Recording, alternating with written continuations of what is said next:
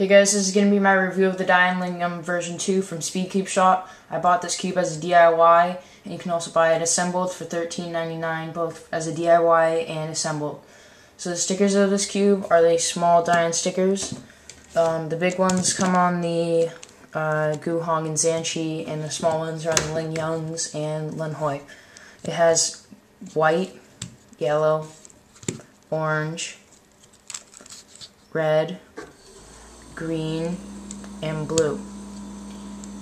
I did not receive a logo, um, but that is almost a good thing because if you didn't receive a logo, that means you have one of the first cubes in production, um, which is kind of cool, but it doesn't really make it different. So I lubricated this with Lubix down to the screws and the springs, and um, it turned out pretty good. It made a really fast cube, um, and yeah. The, the turning of this cube is a little bit bumpy.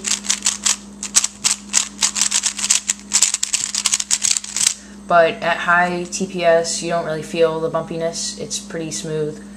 Um, but it's almost a little bit crispy, I guess. And it has a little, sometimes it locks up a little bit, a little bit, because you're not really paying attention to corner cutting or, or, accurate turning because it's just turning so fast. Like, if you just try to do a U2, you overshoot a little bit every single time. But it's reverse corner cutting and corner cutting will make up for it. Because this cube does corner cut more than 45 degrees. This 45 right there. Cuts it. That's about 50. Oops, my finger touched it. 50. Yeah. That's a little bit too far, actually. That's about 50. And it cuts it. Which is pretty good. Um, and then for reverse corner cutting, it's almost a full piece. And I really like how this cube has such good corner cutting.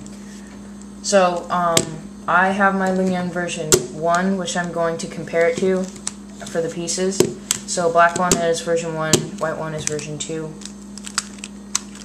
So for the version 1, I got Lubix torpedoes, and I have lubricated it with Lubix also. And I haven't done anything else to it actually. Um, no 48 point, 45 point inch rod or whatever. Um, so let's look at the corner pieces. So on the version 1, as you can see there, it's fairly flat. And there's no real bumps or anything to catch onto and there's a little thing there and yeah and this dip and it's split into three parts as normal DaYan cubes are. Now on the version 2 this part is slightly curved and that's pretty much the same and people are saying that the dip is bigger and it's really not. And no, it's not. It's not at all. Um, yeah, but otherwise, it's exactly the same except for this butt part. So for the edges, um, so since I got torpedoes on this, um, just ignore that. Um, so really the only major difference on this cube is the torpedoes. And that's what causes um, this cube to not pop. Um, the version 1 had a serious problem with popping and a lot of people complained about it and really didn't like it. Um, well, I just didn't use the cube. That's what my result was. Um, yeah, so here we have some friction reducers, and yeah, look at that, and that, and it's in two parts.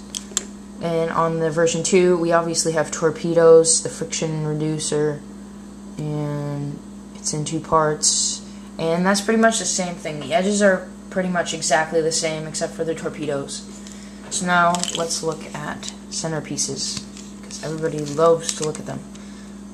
So the black one, you can see there that you have um, this, the centerpiece right there, and that's what it looks like inside. Now for the version 2. It's pretty much flat. It just cuts off right there. But this one's more curvy. Um, yeah, I don't really know what it does. The centerpiece here is shorter than that one. Um, yeah.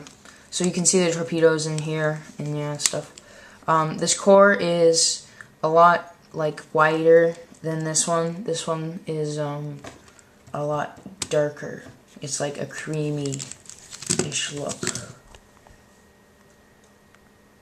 So, um, yeah, the screws and the springs are pretty much the same. They're the silver kind. Um, yeah. So, I'm just going to put these cubes back together.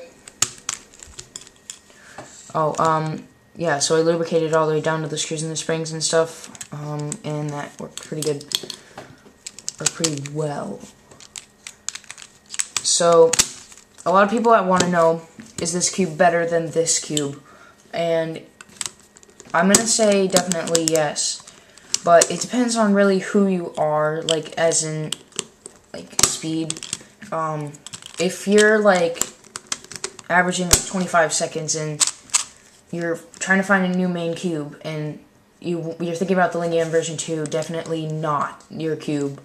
You, um, will be overshooting, like, that, and you'll try, you'll do like a U1, and you'll, you'll do, you'll do like almost a U3. Um, and it's just really hard to control. Um, but the um, more experienced cubers, like um, Feliks or someone, Dan Cohen, would may like this cube because it is a little bit faster, and it's pretty much right at their speed. Um, but the version 1, it's a teeny bit slower, I would say, but it may just be mine. May have it on a tight tension. Um, but it definitely does have a better feel. Like, it's a lot better, um, and it has just an overall better feel.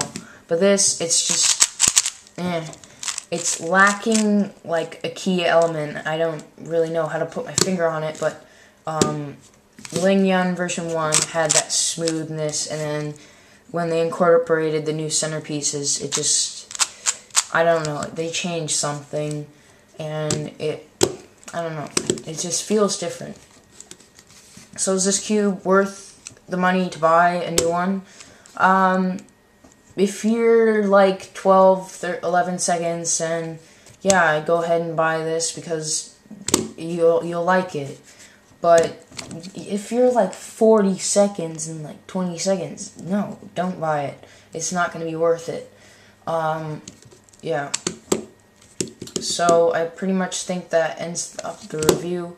So, um, yeah, if buy it if you really want it, but if you don't want it, or if you if you're not in that time zone, don't go buy it because it's bad for you. Okay, bye.